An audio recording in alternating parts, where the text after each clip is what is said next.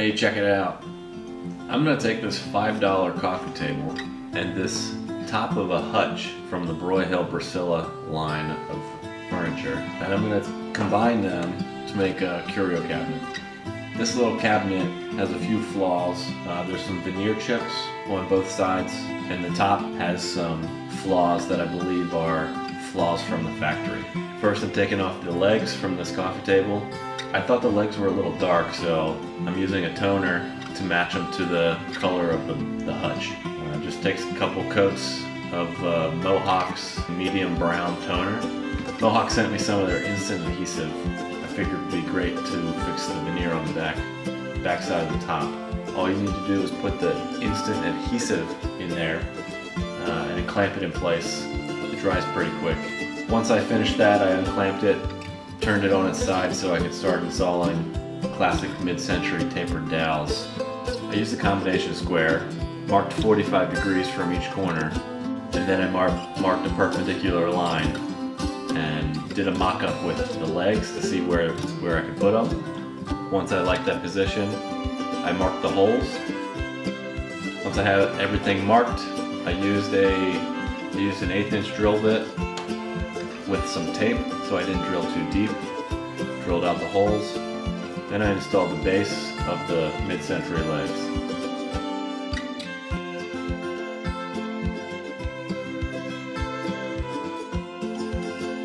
After I had the legs installed, I got this thing upright again, and I decided it was time to fix the veneer chips.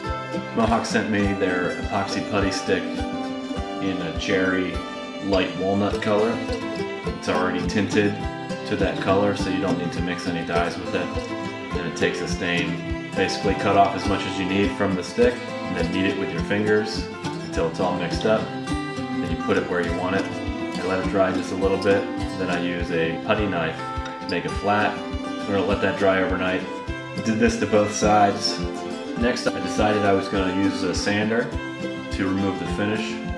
Brasilia veneer can be sanded. It's not too thin, so you just got to be careful when you're sanding veneer. You don't want to go through it. You want to keep the sander moving so you don't go through the veneer. Here you can see I, I'm having to clean off my sanding pad fairly often. I did this to both sides and then to the top. I started with a 120 grit, then I moved to 220 grit, hand sanding with each one of those grits after I did the orbital sander. I used a gel stain, a walnut colored gel stain, the best match to the Broyhill Brasilia original factory finish color.